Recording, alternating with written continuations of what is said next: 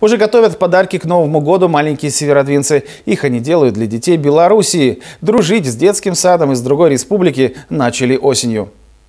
Такие игрушки воспитанники детского сада «Дюймовочка» делают впервые. Куколки-колокольчики – традиционные северные поделки. Малыши изготовили их в подарок для детей из белорусского сада «Лесная сказка». Помогали воспитатели.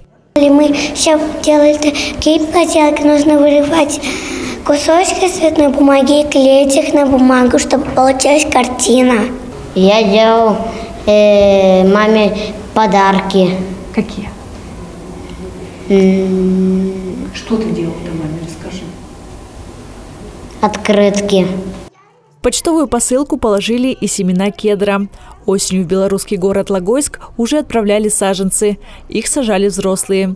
А эти семена весной выдадут детсадовцам. Обмен подарками с другой республикой – традиция. Дети из Белоруссии прислали нашим 100 семян дуба. В нашем городе живет очень много людей разных национальностей, в том числе и белорусы, и украинцы. И на сегодняшний день, когда в мире так неспокойно, нам очень важно, чтобы связи устанавливались, начиная именно с раннего и дошкольного возраста. Поэтому наша акция связана с миром, добром, добрыми взаимодействиями. Также в Северодвинске малыши записали на видео презентацию. В ней показали северные наряды, исполнили традиционные песни и танец. И, конечно, поздравили с наступающим Новым годом. Поздравляю с Новым годом! Ксения Кабанова, Наталья Габдрахманова, Вестник Северодвинска.